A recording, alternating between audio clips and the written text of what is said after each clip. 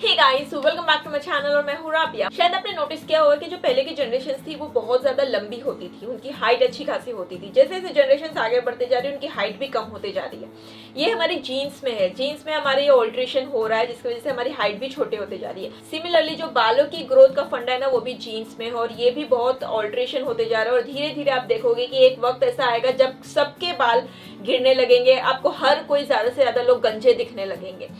इसीलिए मैं इस चीज़ को ट्रीट करने के लिए इस ये वीडियो लेकर आई हूँ। आज मैं एक ऐसा ट्रीटमेंट आपके साथ में शेयर करने वाली हूँ, जिससे गंजे सर पे भी आप बालों को उगा सकते हो। सिर्फ़ गंजे सर पे नहीं, अगर आपके बाल थिन है, पतले हैं तो आप अपने बालों को लंबा और घना कर सकते हो। तो ये कैसे हो सकता है? मैं बहुत ज़्यादा रिसर्च कर रही थी कि कौन सी ऐसी चीज़ लगाए या कुछ ऐसा करे जिससे पॉसिबल हो। मेरी कोशिश ये रहती है कि वो सबसे इम्पोर्टेंट है कि आपके पैसे ज़्यादा खर्चा ना हो, आपको डॉक्टर के पास जाना ना पड़े और आप आसानी से घर पे कर सको। और सबसे इम्पोर्टेंट आपको उसके अच्छे रिज़ल्ट मिले। इन सारे जो सवाल थे, इनका मुझे एक ही आंसर मिला, एक ही सोल्यूशन मिला, और वो था डरमा रोलिंग इसके ऊपर मैंने बहुत सारे वीडियो शेयर किए स्किन के लिए, लेकिन ये आपकी हेयर के लिए भी उतना ही कारगर है। सबसे पहले मैं आपको बता दूँ कि ये है आपकी वो जादू की छड़ी, वो आपका डर्मा रोलर जिससे आप अपनी बालों की ग्रोथ को तेज़ी से कर सकते हो या बढ़ा सकते हो, ठीक है? ये जो डर्मा रोलर है, इस पे बहुत ज़्यादा छोटे छोटे नीडल्स होते हैं, जिसको हमको हमारे सर में, हमारे स्कैल्प में रोल करना है। डरिए मत, कुछ नहीं है, बहुत ही आसान है। डर्मा रोलिंग करने से पहले आपके बाल जो है वो बिल्कुल सूखे होने चाहिए, उसमें ना ऑयल होना चाहिए, ना पानी होना चाहिए, कुछ नहीं ड्राई होना चाहिए आपका स्कैल्प अगर आपका पूरा सर पे कहीं पे बाल नहीं है तो इसको करने के लिए ऑब्वियसली बहुत ज़्यादा आसानी होगी, लेकिन अगर आपको छोटे छोटे पैचेस में बाल नहीं है, या फिर आपके बाल है, लेकिन आप और न्यू हेयर ग्रोथ के लिए करो तो आपको कैसे करना है? कोई भी केस हो, आपको छोटे छोटे एरिया पकड़ के ही रोल करना है, ठीक है? छोटा एरिया पकड़े, उसको अच्छी तरीके से रोल करे, तीन डायरेक्शन में। हॉरिजॉन्टल पहले रोल करे इस तरह से, फिर वही एरिया पे वर्टिकली रोल करे इस तरह से, फिर वही एरिया पे डायगनली रोल करे इस तरह से, ठीक है? आपका वो एरिया पे बाल नहीं है तो आसानी से रोल हो जाएगा। अगर वो एरिया में बाल है, आपको थोड़े से बाल है तो आपके बालों की डायरेक्शन में करें इस तरह से, ठीक है? आपके बाल जो है उसमें उलझने नहीं चाहिए। नीडल्स है वो तो आपके बाल उसमें उलझने नहीं चाहिए। पहले आप अपने बालों को इस तरह से कर लीजिए और फिर आपके बालों की डायरेक्शन में करें, ठीक है? रोल करते वक्त आपको जो प्रिकिंग वाला चीज़ है नीडल है, उसमें सुई है बारी बारी को आपको चुभेगी, वो चुभना चाहिए क्योंकि उसी वजह से आपकी हेयर ग्रोथ होगी। पेन आपको नहीं होना चाहिए। पेन में और हल्की से टिंगलिंग सेंसेशन और प्रिकिंग में फ़र्क है। आपको पेन नहीं होना चाहिए ज़्यादा। आपके स्कैल्प में ना वो प्रिक होना चाहिए, ये बहुत ज़्यादा ज़रूरी है। अब ये क्यों होता है कि इससे आपके बालों की ग्रोथ अच्छी होगी? सबसे पहले बात तो मैं एक चीज़ आपको एक्सप्लेन करना चाहती हूँ कि हमारी बॉडी में एक बहुत ही इंपॉर्टेंट प्रोटीन है एटलीस्ट 25 टू 30 परसेंट वो प्रोटीन है और उसका नाम है कोलाजिन पूरी बॉडी में है वो आपके आपके स्किन में, आपके बोन्स आपके टेंडेंस लिगामेंट्स हर जगह पे, लेकिन मैं उसकी बात नहीं कर रही हूँ, मैं आपके सिर्फ़ बालों की बात कर रही हूँ। और बालों की अगर मैं बात करूँ तो आपके शाफ्ट में, आपके जो ये चीज़ होती है, इसमें इतना नहीं है जितना आपके रूट्स में है। अगर आप किस बालों को खींचोगे तो उसकी जो रूट देखते अब मोटी होती है, वो जगह पे होता है कोलाजिन ये कोलाजिन की वजह से हेयर की ग्रोथ होती है, यानी कि न्यू हेयर ग्रोथ की स्टेज में आता है वो। जैसे जैसे कोलाजिन कम होने लगता है, आपके बाल जो है वो झड़ने लगते हैं। तो इन शॉर्ट आपको बालों की ग्रोथ के लिए क्या चाहिए? कोलेजिन आपको क्या लगता है, हमारी बॉडी कोलेजिन को कब प्रोड्यूस करती है? जैसे आपको कहीं पे जख्म होता है तो हमारी बॉडी उसको कैसे रिपेयर करती है? उसके ऊपर एक न्यू स्किन की लेयर चढ़ा देती है राइट यानी कि वो क्या प्रोड्यूस करती है? कोलाजिन सिमिलरली जब हम स्कैल्प में इसको रोल करते हैं तो हम हमारी बॉडी को कुछ एक ऐसा मैसेज भेजते हैं कि यहाँ पे हमको जख्म हो रहा है। तो हमारी बॉडी का जो मैकेनिज्म है, वो पूरा स्कैल्प पे चला जाता है और वो वहाँ पे कोलाजिन को प्रोड्यूस करने लगता है। उसको लगता है कि कुछ जख्म हुआ है, मुझे रिपेयर करना है, मुझे कोलाजिन को प्रोड्यूस करना है। तो इस चक्कर में हमारे स्कैल्प में कोलाजिन का प्रोडक्शन ज़्यादा होने लगता है।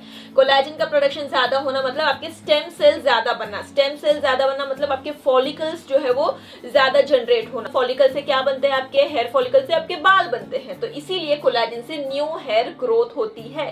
बहुत ही कॉम्प्लेक्स फंडा है, लेकिन मैंने बहुत सिंपल तरीके से आपको समझाने की कोशिश की है कि गाइस ये एक ऐसी जादू की छड़ी है जो आपकी बालों की ग्रोथ में हेल्प करेगी। लेकिन सबसे इम्पोर्टेंट ये है कि इसके बाद में आपको क्या लगाना है, क्योंकि जैसे जख्म हो जाता है, हम कोई क्रीम वगैरह अप्लाई करते हैं और उसी से हमारी स्किन रिपेयर भी होती है राइट जब हम इसको रोल कर रहे हैं तो कुछ ऐसी चीज़ लगाओ ना जो आपके स्कैल्प में पेनिट्रेट हो जाए, क्योंकि हमने ऑलरेडी इसको रास्ता बना के दिया है। देखो, मैं एक ऐसी बंदी हूँ जो मॉडर्न साइंस में भी बिलीव करती हूँ और आयुर्वेदा में बिलीव करती हूँ। ये दोनों को जब आप मिलाओगे ना तो बनता है राबिया स्किन केयर तो इसीलिए मैं आपको कहूँगी कि मॉडर्न टेक्निक से हमने रास्ता तो बना दिया है। अब आयुर्वेदिक तरीके से अपने बालों की जड़ों में वो फ्यूल पहुंचाओ, जिससे आपके बालों का झड़ना रुकेगा और आपकी बालों की ग्रोथ बहुत ज़्यादा तेज़ी से हो सकती है। और ऐसे में मैं आपको सजेस्ट करूँगी कि आप मेरा डीआईवाई आयुर्वेदिक सिरम यूज़ करें और आयुर्वेदिक ऑयल यूज़ करें, जो ऑलरेडी मैंने आपके साथ में शेयर किया है। हज़ारों मुझे उसमें ऐसे कमेंट्स आए जिसको यूज़ करने के बाद में आपकी बालों की ग्रोथ बहुत अच्छी हुई है और बालों का झड़ना भी रोका है। बस मुश्किल ये है कि ऑयल में कुछ ऐसे इंग्रेडिएंट्स है जो लोगों को नहीं मिले हैं, जैसे करी लीव्स अगर आपके यहाँ पे करी पत्ते नहीं मिलते हैं या आपके पास नहीं है तो आप गुड वाइब्स का ये करी लीव का एसेंशियल ऑयल यूज़ करें। उससे भी ज़्यादा इफ़ेक्टिव होगा और प्योर भी है, ठीक है? आप एक बोल में तीन से चार टी कोकोनट ऑयल की लीजिए और उसमें चार से पाँच ड्रॉप आप करी लीफ यानी कि करी पत्ते की एसेंशियल ऑयल की ऐड करिए। बहुत ही प्योर है इफ़ेक्टिव है उससे ज़्यादा अच्छा आपको रिज़ल्ट मिलेगा। उसके साथ साथ आप इसको और इफ़ेक्टिव बनाने के लिए आप इसमें प्याज का, यानी कि अनियन का एसेंशियल ऑयल यूज़ करें, ये पर्पल का अनियन का एसेंशियल ऑयल है।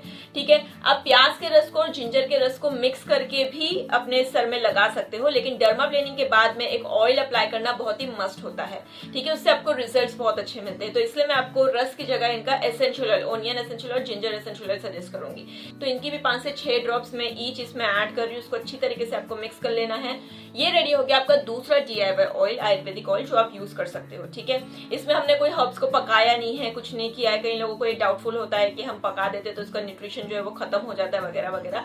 तो आप ऐसे ऑयल बना के यूज़ कर सकते हो, ठीक है? डर्मा प्लेनिंग करने के बाद में सबसे पहले जो हमने सिरम बनाया आयुर्वेदिक सिरम वो आपको तो लगाना ही है। इसको लेके आपको अपने स्कैल्प पर अच्छी तरीके से अप्लाई कर लेना है। आधे घंटे के लिए वेट करना है सिरम अप्लाई करने के बाद में। ये आपके जड़ों में अच्छी तरीके से समा जाएगा, आपके जड़ों को मज़बूत करेगा और बालों का, आपके फॉलिकल्स को बिल्कुल रिजनरेट करेगा और आपके बालों की ग्रोथ में दुगनी तिगनी तेज़ी से हेल्प करेगा। आधे घंटे के बाद में आपको ये ऑयल लेना है और इसको लेके आपको आपके सर पे अच्छी तरीके से मसाज करनी है, बिल्कुल हल्के हाथों से।